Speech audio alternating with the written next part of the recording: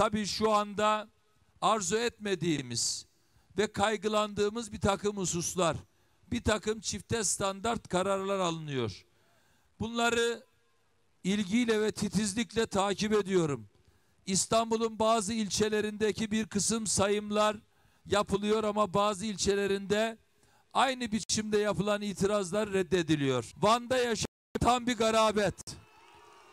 Tam bir garabet.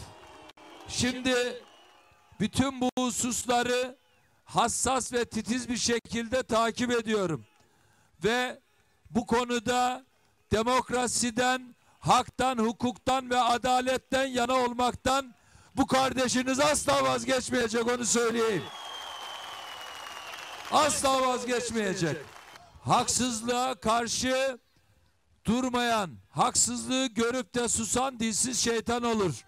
Bunu asla unutmayın.